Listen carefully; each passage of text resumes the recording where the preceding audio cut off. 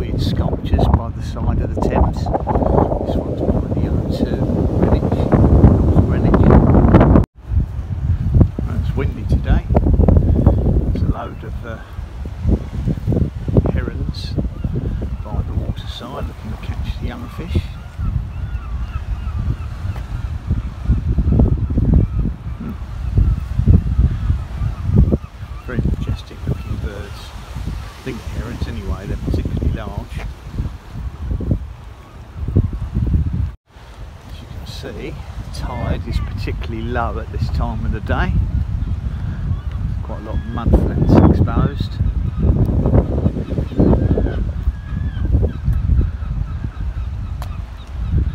Looks like a cormorant out on the mudflats, drying his wings, probably been diving for fish. Plenty of seagulls, no doubt there's plenty of tasty uh, little things for them all to forage for on the mud and sand. The tide's really far out.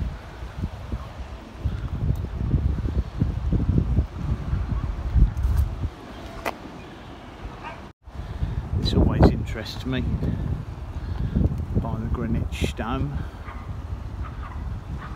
remains of a section of a ship that's been cut away. I wonder how many years since that was on the uh, water. Growing wild by the pavements. Hollyhocks, lovely colour. And more hollyhocks growing here. These ones are a light pink.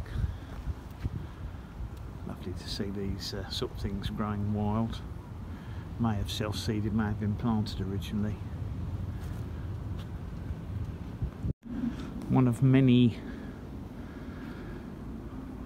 of wild buddleia or butterfly bushes growing alongside the Thames in full flower here early in July it's a source of great sadness really to me. There was a time, not many years ago, when you'd go past these bushes even in London and they would be absolutely covered in bees, insects and butterflies.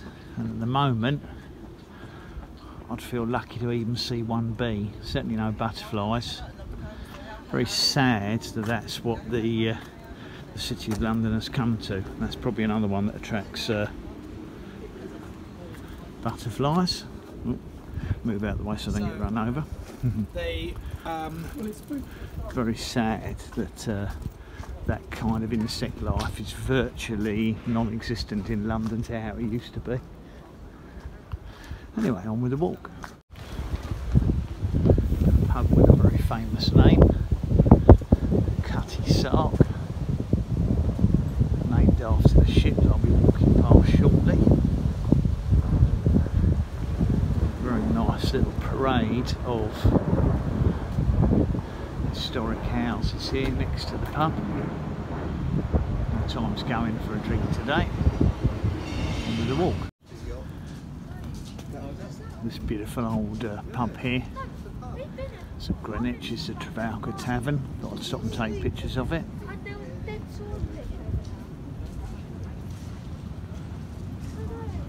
It's right on the waterfront.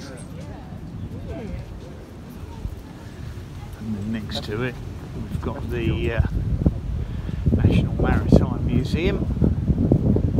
I think that's what it's called, this section, which I'm walking along. Lovely building. Of course, you can walk straight along the uh,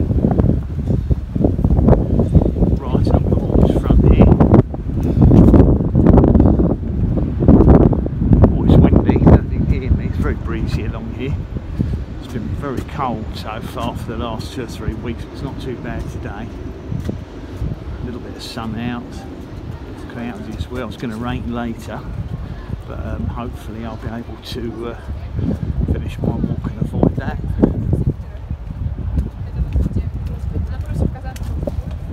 Uber boats on the Thames, that's the uh, river taxi service. But I shouldn't have maybe had to stop here.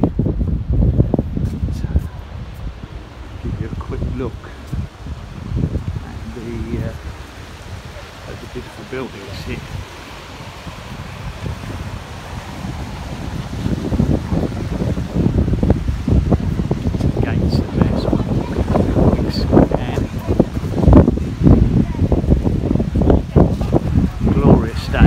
wind's making it very cold.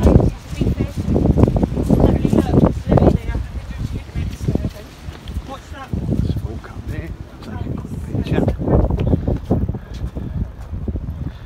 There we are, Distance, there's a Greenwich Observatory.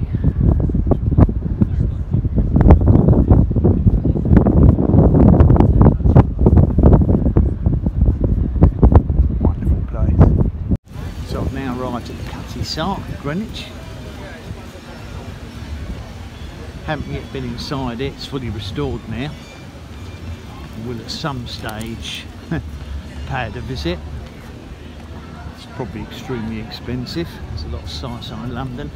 This is the entrance to the foot tunnel if you wanted to cross from Greenwich to the other side of the Thames under the river. A carousel here, merry-go-rounds.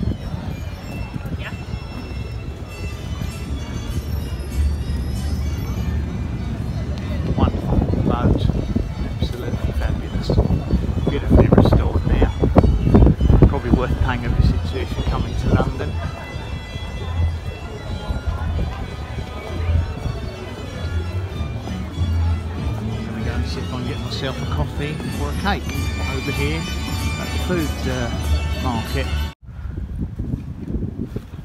Wow, looks like I've discovered Swan City here. I've seen so many swans in one place. Look at that. 1, 2, 3, 4, 5, 6, 7, 8, 9, 10, 11, 12, 13, 14, about 15 swans in total sitting by the uh, waterside on the beach. Quite an unusual sight I would say on this part of the Thames. Fascinating. Enjoying the sunshine, sunbathing. What an impressive little tropical garden someone's got here. Their little bit of paradise, tree ferns, bananas, presumably basjoo. That's about all they've got actually. Bananas galore. No signs of flag leaves on them, but it's nice to see the uh, bananas. The kitty cat a rest. Looks quite elderly to me. Well, for anyone interested, I'm walking past the ancient mulberry tree today, again, that I walked past in the spring when it was dormant. Believed to be circa 1698. And it does actually have mulberries on it. I wouldn't consider them necessarily edible. I don't know what species it's going to be, but very, very small fruits. Oops, sorry, out of focus. dried out. Not sweet. Well, it's just got some sweetness. Oh, it's a very old tree. and I would say the fruits are quite, it's quite deformed now. The fruits are quite stunted, but it is carrying a few, a few fruits. It's got obviously a very weeping effect, but I think that's because of its age. But um, obviously uh, it's a joy to see it's still got fruits on it at this age even if they're not uh, not easily accessible or worth eating. Anyway I thought it might interest people on with the walk so although this is part of my um, walks video I'm also doing a standalone video for this we're at Surrey Docks Farm and the reason I've stopped here as well as to have a coffee is there are some pineapple, guava or feijoa plants here which I thought I'd stop and have a closer look and feature. Um, in actual fact that one there's got plenty of flowers on it. Let's see if I can zoom in a bit. Still got loads of flowers on it at the end of, uh, sorry, beginning of August. And I can see some hoverflies around it. Now I just wanted to have a closer look at the other plants which I think from the looks of things have flowered and I just wondered if there was any fruit set on them. Um, I can see in there that it looks like swelling on the back of um, some of the flowers. You won't be able to see on here. See if I can get a little bit closer here.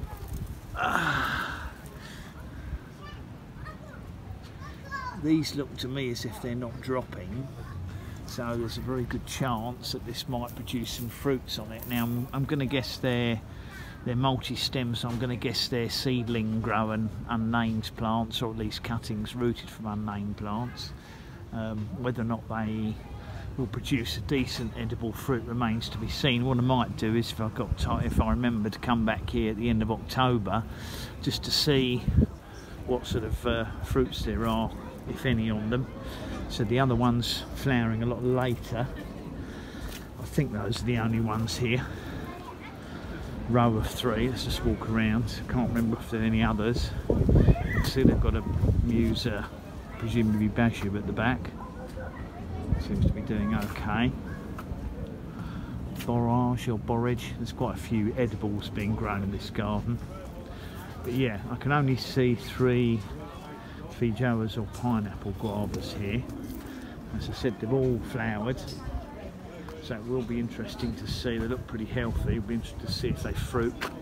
That one's covered in flowers still. Looks like they cut it back but I thought that would interest people particularly who are interested in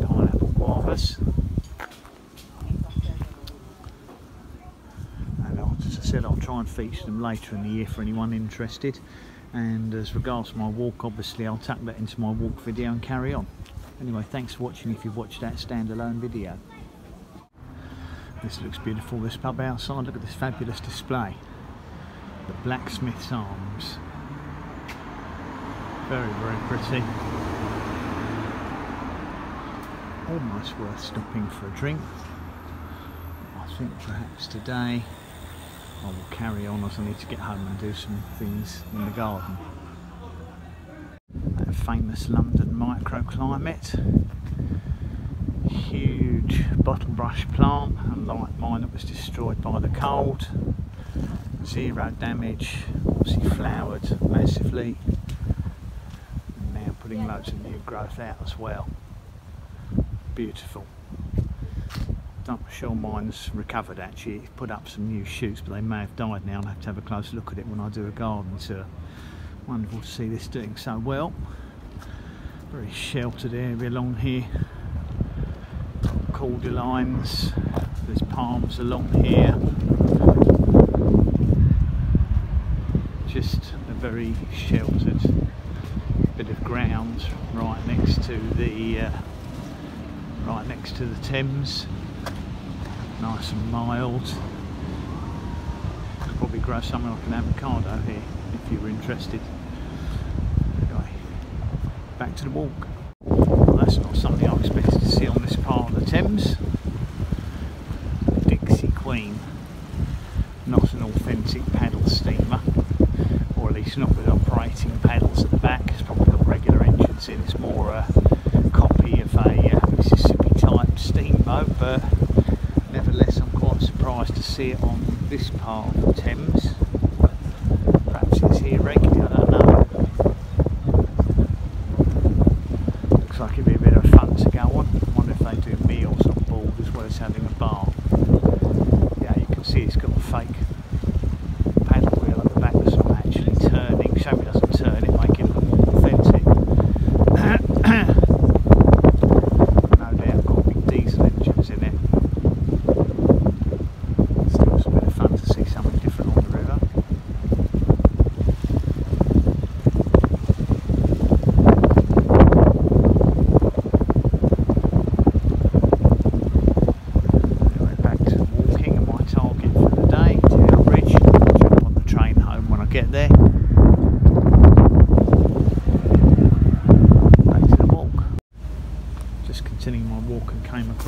Here growing outside. Not totally sure though, looks like a member, almost like a member of the jury, uh, ginger family. I mean I don't think it could be and it might be some kind of, I'll have to look it up later and check. They're familiar to me the flowers but I'm not sure what they are. They're growing next to Acherontia outside in someone's border so I guess they could plant them outside for the summer months or maybe it's simply a hardy bulb that I'm not very familiar with but certainly looks very interesting very pretty. Just thought I'd stop and I'm sure if someone watching knows exactly what they are before I've had a chance to look it up they'll be able to tell me. This building on the south bank always fascinates me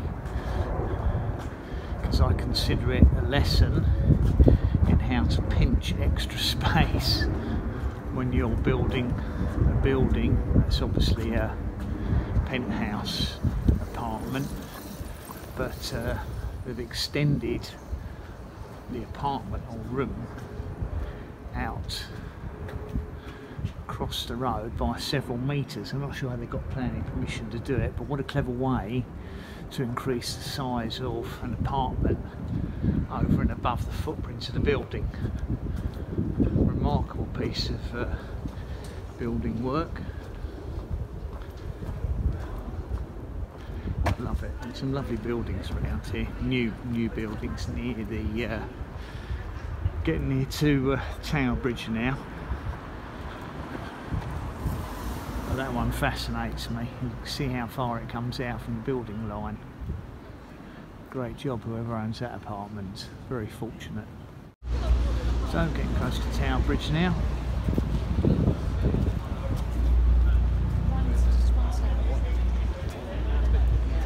Anyone interested? Nice view. If you're coming to London, it's a must-see site.